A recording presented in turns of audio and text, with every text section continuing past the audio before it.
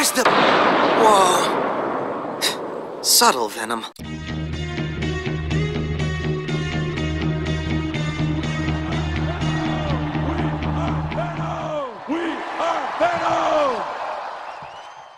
Hey everybody, welcome back to another episode of the Venom Vlog, and we're continuing our countdown to Maximum Venom, which by the time this airs, I think this is going to air on Sunday. I'm going to try to post it up on Sunday uh, before the, you know, the premiere of Maximum Venom, which is at 9 p.m. Eastern Standard Time, and then also uh, uh, 6 p.m. Pacific Time. So if you're in those areas, you know, definitely plan accordingly. It's going to be on Disney XD, and I'm very excited for it because now I'm caught up. I've been watching seasons one and two of the previous Spider-Man show, uh, and I started it right before my move from California and kind of finished it here. And luckily, all the episodes have been up on, you know, D Disney Plus app uh, but then also the YouTube channel Marvel HQ has posted some of the episodes as well. Not there's a couple they didn't post that I feel like uh, are essential and tie into this, uh, but still they did post a, a, good chunk of the episode. So uh, definitely check them out too. I'll try to put a link to that down below. And if you have the Disney Plus app, you can watch it all as well. So tonight you can watch Maximum Venom, and I think if you have the Disney Now app, you'll be able to watch it uh, pretty much instantly as well. So um, you know, make sure you download that app too, and maybe you can get early access to the show or watch it if you don't have Disney Channel. Uh, maybe you can watch it through the app, you know, you know, live while everyone else is watching it. So, uh, so yeah, so there's a lot of opportunities, a lot of ways to, you know, get caught up on this show and, you know, hopefully jump into the show and give it a chance if you haven't already. I've been watching the series now. I see where a lot of criticisms are coming from. I'm going to address that right off the bat. I have seen a lot of people out there be very critical of this show, um, a lot of negativity regarding around the show. Uh, but for me personally, I, I, you know, I think it's pretty good. Like, I don't, it's not overly amazing for me, uh, but I think it's pretty good as far as like, you know, because to me, the standard's always going to be maybe the 90s animated show because that, you know, follows the comic book so well and it does very good, accurate interpretations of everything but that was like 20 years ago, you know, or 25 plus years ago now, maybe. And so you kind of need to bring new things to the table. And that's one thing I'll give this show. It kind of pulls from recent comics where it's like Peter Parker is in high school, but he goes to like a like a magnet school kind of thing, like a, a think tank high school uh, that is run by Max Modell, who's a character from the comics from Horizon Labs. So he kind of has like a Horizon High School, so it's like for super smart kids. And and Peter goes there, Miles goes there, a couple of their other friends go there, and uh, and then also there's Midtown that still plays a factor in it, and that was a school Peter used to go to, and he returns to it from time to time to hang out with Flash Thompson, be his tutor on certain things, you know, like uh, in class to help him out. Uh, they start becoming friends. He starts off, he's the bully as usual, then they start becoming friends. So I don't mind this. Like, actually, when I was watching it, I was like, man, where does the hate come from? Because this is not a bad show. Like, it's pretty fun. And I'm sure, like, I, yes, it's a show geared maybe towards more of my nephew's age. He's like five, six, and then maybe a couple kids going up to like 10 or 12 maybe would still enjoy it. And I'm sure some teenagers probably still enjoy the show too. I have no doubt that maybe some adults enjoy the show because after I watched it, I was like, this isn't bad. I don't know why there's uh, such vitriol for this. I think a lot of times people fall in love with a, a, you know the version they grew up with. So if you you know were a certain age when Spectacular Spider-Man came out, you'd probably you're still holding some kind of grudge that you didn't get season three of that show, and you're not giving other versions of Spider-Man a fair chance. Even when you say you do, I, mean I feel like maybe you don't, and that's how I was before too. That's me calling a spade a spade because I've been there where I'm like, no, no, no, I love this version, and then I'll watch something else. I'm like, nah, not my thing. And then you know, years later, after I've kind of calmed down and deconnected from it a little bit, I'll go back and watch it and go like, oh, okay, like uh, Batman Brave and the Bold was something I didn't like at first, to be honest with you. And then uh, by the time the third or third season came out, that's when I really was like, let's give it another chance. And then I saw really what, you know, the beauty of that show was and what made it so fantastic. And so sometimes you just need a little bit of space and maybe some of you guys have it now and you're coming back with this new season for Maximum Venom. I hope so because I actually kind of like this show. It's not a bad show at all. Uh, I'm not going to say I loved every single episode. There's definitely some criticisms I have of the show, but for the most part, I'm digging it. And so we're going to talk about six episodes of uh, you know various cartoons today. We're going to talk about three episodes from uh, Spider-Man. It's called Marvel Spider-Man, and uh, we're going to talk about that. Season one, there was three episodes called Symbiotic Relationship, Stark Expo, and Venom. So we're going to briefly touch on those real quick. And then also there's three episodes from season two of Guardians of the Galaxy uh, that ties into the symbiote lore. And that is episodes 12, 13, and 14 of season two uh, called the Symbiote War parts one through three. Uh, so yeah, there's there's some good stuff we're going to talk about today. And Guardians of the Galaxy is a show I'm probably, I watched a little bit more of that than just these three episodes. I'm a little bit more critical of that show. That one really didn't win me over too too much, uh, and there were some some things in these symbiote uh, episodes that really didn't pull me in either. Uh, but there was some stuff that I really got my attention. So we're going to talk about that. First, let's talk about Spider-Man because this is kind of where it sets up. In this version of Spider-Man, the V252 uh, is like this, you know, liquid thing that fell from space, you know, kind of like it's the symbiote, obviously, and uh, and it's the Venom symbiote and it was found at a crash site. We don't really know when and where it was found yet. They're going to explain that more, I think, in season three of the show. So, uh, so I don't want to spoil too much about that. But uh, it was kind of found in this, you know, crash site area, uh, landed on Earth outside of New York. And there's, uh, you know, th- the government grabbed it, and then they decided to give, you know, Horizon Labs, since there's a lot of upcoming think tank, bright young minds there, and Max Modell is in charge of everything, and he's kind of proven himself in the science world they're giving him a chance to uh, you know study it, I guess. So it's kind of like in season the Spectacular Spider-Man cartoon where they let Dr. Kirk Connors work on it, and it was like a big deal to them. Same thing here. They're like, hey, we get to work on this cool secret government thing. We get checked in on uh, you know periodically. The Avengers kind of stay in touch with Max as well because obviously he's dealing with an unknown entity. So I kind of like that. I was like, all right, that's neat, you know, and it still brings the suit from outer space, so that kind of still stays in. Uh, but the suit does not seem to have a kind of a personality of its own at first. Uh, it, it's just the suit, and Spider Man bonds with it in episode 7, Symbiotic Relationship. It's something Max works on for a couple episodes, and then Peter decides to use it to fight against the Vulture. And the Vulture has, it was Adrian Toomes, but now that he's out of jail and working for Norman Osborn, he kind of wants to, um, you know, stay back and kind of be more of the, the mind behind the suits. So they have these other uh, younger guys that are operating the suits now, one main guy in particular. So Spider Man gets into it with him, and then once he gets the suit, he's obviously more powerful and able to, to stop him easier. And then it ends really well. Like, uh, you know, Harry and Peter's relationship is kind of built up in this show and in this episode. And, you know, Harry, you know, has Norman there and Norman is kind of keeping an eye on Peter. Well, when at the end, when Spider Man has the black suit, Norman is trying to take it from him. He's like, okay, because Adrian Toomes is working for him. So is this new younger vulture. Now that he's been defeated, and there's like there's two vultures flying around now, two people in the suits. Uh, you know, Spider-Man gets into a tussle with them, and he's taken down, and he's losing the battle. And they say, look, just give us a suit, and you can come with us. You're, you seem like a bright mind too under that costume. Maybe you can help us with this thing. And Norman's trying to kind of seduce Peter into coming to the dark side, essentially. And Peter resists and fights back against the vultures, beats them, uh, uses their powers to uh, of sonic disruptors to take the suit off he bottles it up and he returns it back to Max Modell in secret, you know, um, and, and brings it back to his lab. So, uh, so that was kind of the first interaction with the Venom suit, and Spider-Man got to stick it to Norman Osborn, which is pretty cool. And I kind of like how they do Norman in this season, and uh, he's he's pretty neat. And the Vulture costumes are cool. They kind of look like those '80s ones when Spider-Man had the black costume in the '80s when Peter David was writing the book and stuff, and they had those like other Vulture guys that were swinging around or flying around. That kind of reminded me of that storyline, which was pretty fun. But then there's the next episode where Peter goes to the Stark Expo and he comes across Ghost, you know, like a new version of that character, Ghost. And Ghost is trying to break into the Stark Expo and and take revenge on Tony Stark. And then once they do, like Max Modell has been saying, hey, I want to go to the Stark Expo as a scientist this year and bring them the research I've done on the symbiote, on the V252 or whatever. And so Peter is like telling him, Max, don't bring it there. It's dangerous.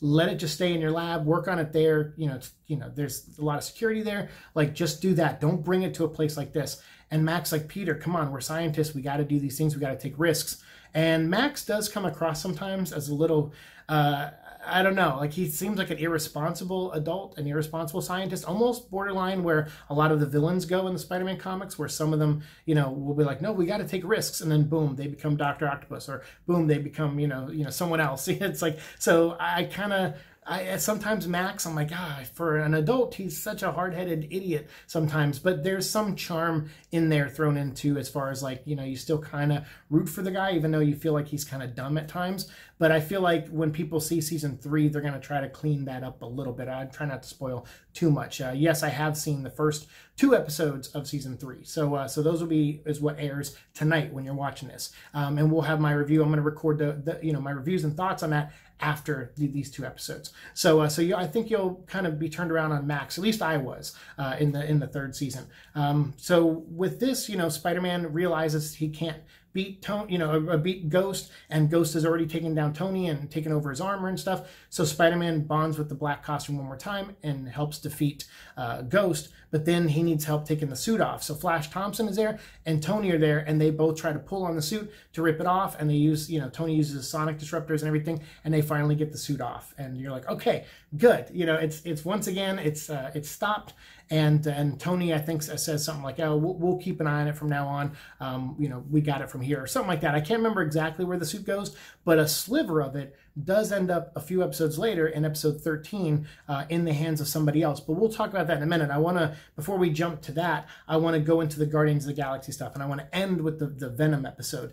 Uh, so, uh, so the the three Guardians of the Galaxy episodes are from season two, and it's a, a trilogy of episodes called the Symbiote War. And basically, the Guardians at this point in the show uh, Groot is is blossoming. He's he's trying to he wants to plant a seed to rebuild his homeworld and you know and and uh, bring life back to his homeworld. So they find his homeworld, they go and land on it, and they find out that it was overrun by symbiotes. And Gamora is even like, hey, I feel like I've been here before, like, you know, many years ago. And Groot's like, well, I haven't been here in forever, and it looks like my society has been wiped out. So as they're investigating and looking into this, they come across a lab underground that Thanos ran. And this is why Gamora remembers the planet, because Gamora remembers that Thanos uh, basically experimented on the symbiotes. So the symbiotes were this peaceful race uh, and there's five remaining peaceful ones still on this planet that help the Guardians, you know, escape the planet uh, at the end of the episode. But uh, but the rest of the symbiotes that have overtaken the planet, they're you know kind of mindless rage monsters, and uh, and they kind of are the symbiotes that we've kind of seen before in comics and cartoons. Uh, but I, they don't seem to have like personalities of their own to, for the most part. Uh, the ones that are peaceful do. They bond, and then they seem to have uh, you know a nice uh, coexistence with the people they bond with, the guardians they bond with. Uh, but for the most part, these other ones are kind of rage beasts, and they find out and explain why. They say that the Klyntar race was once a peaceful race that existed perfectly with the, the organisms on their planet. This is when I started getting interested in the show because the first like 15 minutes of this episode, uh, the first episode, I was kind of bored. I was like, oh man, I'm really not digging this at all. But once they put that new spin on things, like, hey, the Klyntar were a peaceful race, and then they were corrupted by uh, Thanos, and Thanos bonded one to Gamora and turned her into like a Venom person at one point, and then uh, separated the suit from her using a, a device that almost killed her. Uh, so then they're like, all right, well, we need to find that device and use it to separate Rocket because Rocket has been taken over by one of the Rage uh, symbiotes, and the Klyntar, the peaceful ones, have taken over the other Guardians of the Galaxy to help Rocket um, and help them escape. So they are able to save Rocket, even though the device almost kills him too, but they're able to save him and get off planet, and then they end up blowing the planet up. And Groot even says, I'd rather you destroy my planet than let it be run over by these uh, beings. And none of my race is even there anymore because these beings destroyed them all. Uh, these rage versions destroyed them all. So, uh, so yeah, so we need to get out of here. So they take the five good Klyntars and uh, and then escape the planet, blow it up. Uh, but a chunk of the planet still exists and goes hurtling through space. So after they drop off the five good Klyntars to a safer planet, and then Groot plants his seed there, and uh, and it's going to take like a millennia for his uh, race and stuff from that seed to come back. Those five good Klyntars say, "Hey, you know what? We'll guard this seed with our lives. Uh, it's the least we can do for you, and we will make sure that uh, you know that these beings that come in, uh, they won't be harmed and they won't be mistreated. So Groot says thank you. They get in their ship and they go after that meteor. So now the Milano and the Guardians are heading after this meteor, which is heading in the second episode for a planet called Spartax, which is uh, Star Lord's sister's a planet that she's like empress of. And so they meet her, they team up with her, they get in a big battle. Um, they go try to divert that asteroid chunk of the planet they try to get that and, and redirect it towards the sun and so that way they can destroy it and all the symbiotes on it. But they have a hard time doing that. The symbiotes take control. They redirect it back towards spartax and so the guardians make a suicide mission to get onto the asteroid or chunk of planet and to fight back. And they are start to they're starting to lose actually until thor shows up. And thor shows up and wipes out all the symbiotes that are on that rock um, seemingly. Uh, but then at the end of the episode, he's like, all right, you know, I've, I've helped you. Now Spartax is, you know, they, you know, some other guy was going to try to take over uh, when the Empress looked like she was going to die. So like some Starscream like second in command dude was going to take over, but obviously he didn't get to because the Empress comes back at the end and they save the day. Uh, but then Thor opens up the Bifrost and heads to Asgard. But as he's leaving the the planet, the you know chunk of the planet, one symbiote was left alive and it, it bonded into his cape without him knowing it and it takes him over. And so Thor goes back to Asgard as like a, a, Venom Thor and or a symbiote Thor. And that's when the Guardians jump in after him before the portal shuts and they get stuck in Asgard having to fight uh, with Heimdall, having to fight against, you know, a possessed Thor. Uh, so Thor is pretty cool because then once Thor is taken over, he can't lift Mjolnir, which I thought was awesome. He was no longer worthy. So, uh, so the symbiote really couldn't figure out what to do with him. So it entraps him in something and then goes and takes over uh, Odin while Odin is uh, in the all sleep. And so Odin is now awakened and he's, you know, symbiote covered and he's all powerful and he's kicking the crap out of everything. And he goes over to the life tree and pollutes it and, and cause it to grow spores, symbiote spores. And then those symbiote spores grow and then start falling on other uh, Asgardians and start turning them into symbiotes as well. So now it's the five Guardians of the Galaxy, uh, Heimdall, and then Loki, who they break out of prison uh, to help them fight back. And uh, they do. They free Thor, and they're able to save Asgard, destroy uh, the suit that's covering um, Odin, and then also wiping out all the spores and everything, and returning everything back to normal. So everything's gone. Everything's dead. All these symbiotes are gone. Uh, but this is not the last of the symbiotes. Apparently, there still is a planet out there where Klyntars come from, and uh, they're they're mostly peaceful. But apparently, Thanos did come across them and corrupt them at some point. So I don't know if Thanos corrupted them on their home world, and uh, and that's the thing that's going to come fight, you know, in Maximum Venom. I don't know if it's that or if it's just like another planet where Thanos dumped a bunch of Klyntars, and maybe we'll get the Earth will get saved by the good Klyntars at some point.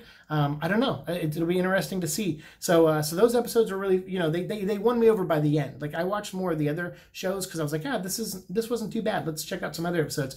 And I kind of didn't really like Guardians too too much. It wasn't really my cup of tea. But these episodes they won me over by the end of the first episode, and they kind of locked me in. And so I was like, all right, I'm, I'm down. I'm willing to give this another try. So uh, so I did, and I finished it, and they, they were fun. Uh, but then now let's head back to Spider-Man uh, season one, and we have episode 13, which is called Venom. And so now that the suit was ripped off Spider-Man, uh, you know, the main Venom suit, V252 or whatever, uh, we have the the the suit has now shown up again and it's bonded with somebody else and we don't know who because they're not really talking much when they show up to fight Spider-Man but they are the big size. It's like you know Venom Venom. So it's like a big Venom. And uh, and they're coming at Spider-Man and the, the two of them are fighting and they spend the whole episode and you're trying to figure out who is this new symbiote like who has it? And meanwhile this is the episode where Peter Parker is tutoring Flash Thompson and Flash Thompson has a rival at another school and they're going to get in a big you know football matchup you know coming up soon. So you see the two of them them being angry at each other, and they kind of use that other jock guy as a, a, potential red herring to maybe think he might be the new Venom. Then they introduce a, a teacher who has like a, a cast on his arm, and maybe and he's an old teacher of Peter Parker's, maybe he could be the new Venom. So they kind of build this little mystery, which I kind of liked, and it was kind of fun. But obviously, in the end, what was really cool was, uh, you know, I didn't see this coming actually, was Flash Thompson was actually Venom in this one.